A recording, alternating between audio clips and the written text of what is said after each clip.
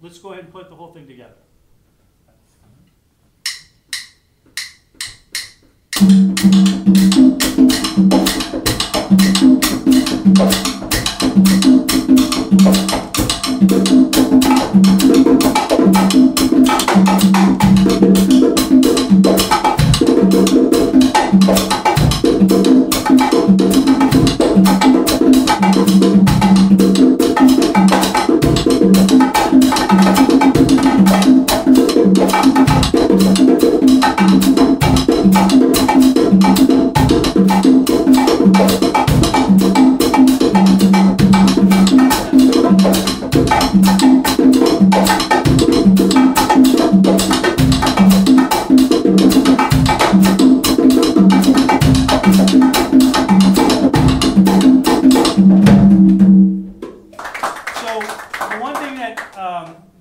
Common in, uh, in in the music, the bass drum part, um, well, this this carries through through all, all forms of, of Cuban music as well.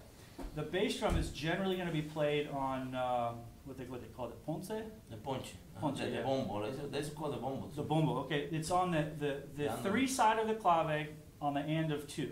So if you've got a two three clave, one two three four, one and two three four, one and two and three, one and two. So that's a really standard way to put the bass drum.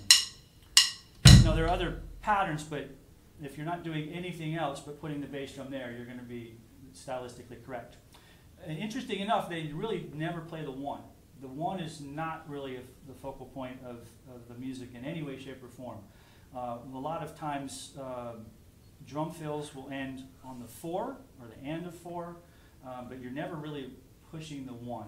I mean, I can sometimes play the bass drum on the one uh, as a variation, but I'm not glued into putting the one down like you are in, in North American pop, funk, all that. Where funk music is all about the one. Um, in, in Cuban music, it's, it's not so boxy, it's not so square. You don't have to push that one every time. Um, so the, the bass drum you're going to hear me play is going to be played on the and of four a lot of times. Um, okay, so the reason I'm showing you the rumba is because it's really where we start to get these, these syncopated rhythms that are eventually applied to the timbales. Two, two metal drums. They were actually, um, they originally were from timpani. The timpani was brought over um, and to the island of Cuba, and over years they got smaller and smaller and smaller and smaller, and then they chopped off the bottom, and it's just a one. They look like, for lack of a better description, they look like two metal snares. Basically, they're either brass or steel, um, and they're played backwards for drummers. So the high end, the high drum is on the right, the low end is on the left. And there's, like I said, there's no bottom head. They're put on a stand, uh, and you're going to play the side of the, the shell because the, the the lugs. If you're you, since you don't have a bottom head, there's only one lug, and so you've got a, a quite a large area here uh, where there's nothing uh, to get in your way of playing. So you'll play this shell, uh, and then you'll play bells. So a lot of this stuff that we do on drum set is directly taken from the timbales, uh, those parts there. Now, actually, uh, I had an interesting conversation a while back with a percussionist, very famous percussionist named Mike Spiro, who lives out in the Bay Area, teaches at Indiana University now. Um, and his theory is that actually the drum set preceded the timbales in playing uh, these rhythms.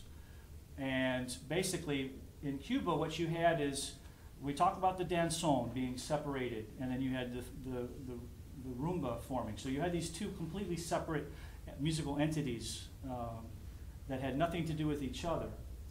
But eventually, they did start to get uh, combined. And the, the uh, important thing that brought them together was the next step, which is a music form called son.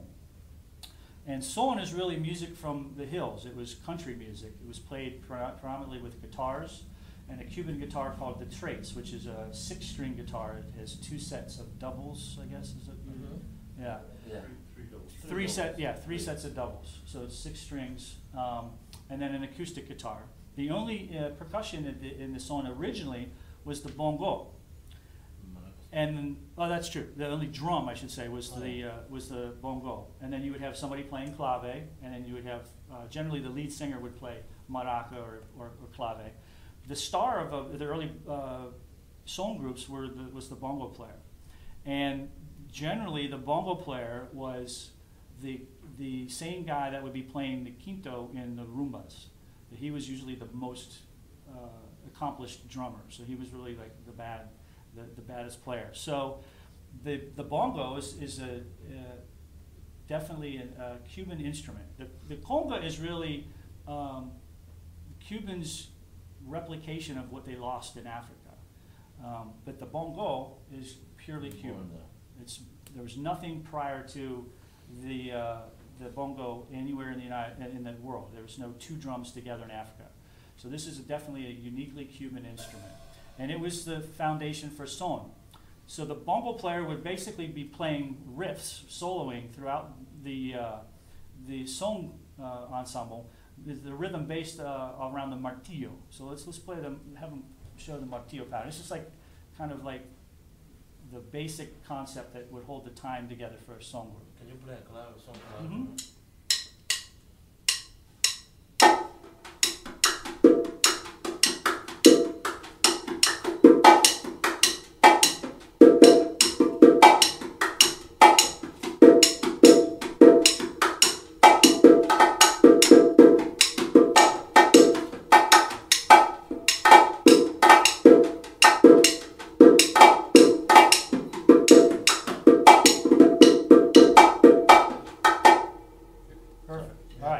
So that's the bongo part. It's very syncopated.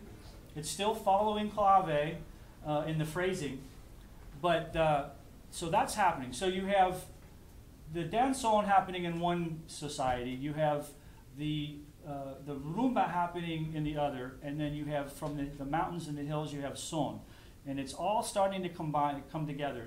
Uh, the danzón started in the late 1800s. and you have the, uh, the music all time coming together into the cities in the, in the early 1900s, 1920s. Um, when the bongo player isn't playing the bongo, he's playing the campana, the bell. And this is a very important part too, because this is going to this is going to be a, a major part that we're going to play as drum set players as well. This is a, something that still goes on today. When the chorus happens of a, of a song, the bongo player puts the bongos down, and picks up a bell. In a Latin jazz context, it has to do with energy. So for a piano solo, maybe he'll play bongo. Uh, but if the piano is really just, the whole ensemble is just really at a height musically, he may pick up the bell to drive that a little bit more. Same thing with the horn player. If the horn player is soloing, we may start off on bongo, but as we, the energy gets built, you're going to go to the, uh, the bell. And if there's no bongo player on the gig, that's the drummer's responsibility. So I'll demonstrate that after Caro shows you the basic concept. So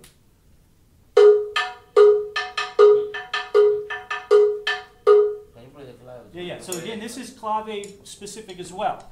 The more syncopated part that he plays, he's going to play a part that's less syncopated, and then a measure that's more syncopated, and that's going to follow clave. So that would be one, two, one,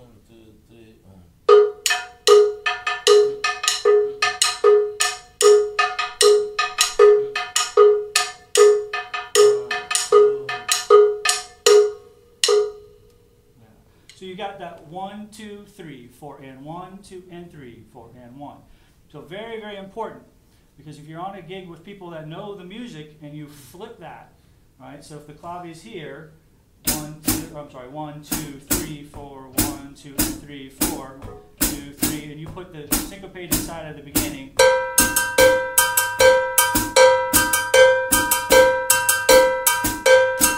Going to irritate anybody that knows what's going on. It's just not going to be comfortable for that them. And a lot of times you, you'll, it's called crossing clave. So you'll see guys doing this. You know, they'll turn around and they'll be like, you know, that means you're, you're crossed. It means stop, change it.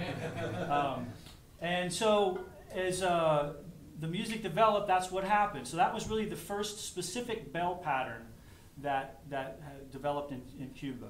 Now, the, the, uh, the uncertainty is that how everything else developed really dictates. So what happens eventually is the, uh, the music develops like anything else. And in son, they add a piano player, then they add a trumpet. The ensembles grow, and eventually they add a conga player. And that becomes extremely popular. We're talking about the early 1920s, 30s. Son just sweeps the, the, the island. Actually, uh, uh, it goes out. There's a, a couple of groups that become famous because you start having recordings at that time. Vic, was it Victrola starts recording everybody. They go to Paris and, and you have lots of, uh, uh, of that kind of um, music is starting to sweep across the world. So the, the, uh, the danzón ensembles uh, kind of start developing as well. And they start adding the Congo drum. Interesting thing though, because there were no were white guys playing congos. There were no uh, people of direct Spanish descent playing congos. They, were really only descendants of slaves at that time.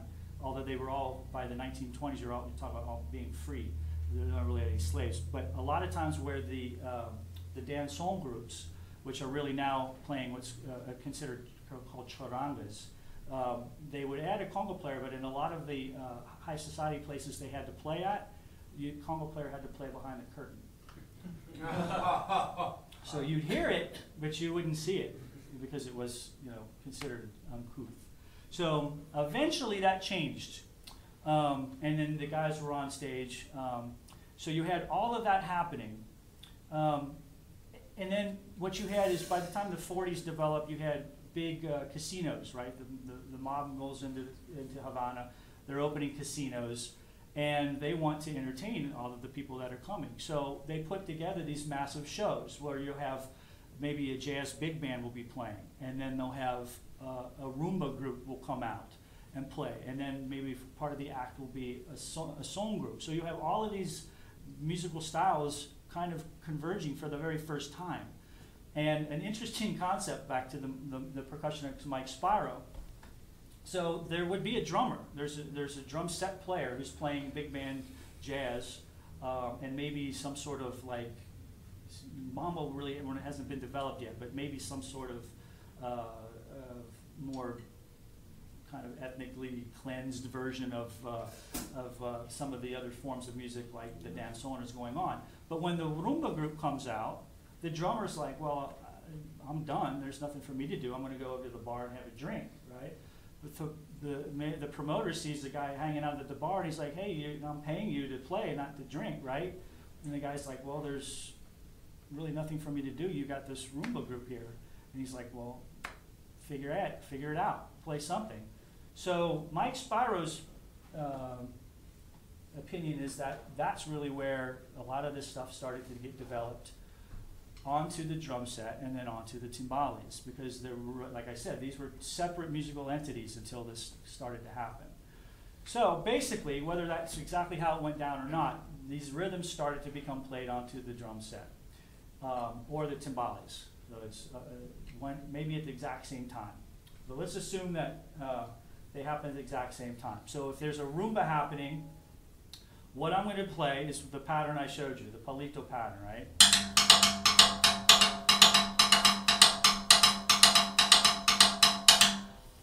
But that doesn't get played necessarily, um, at least in its entirety, when all of a sudden these three forms of drums were put together.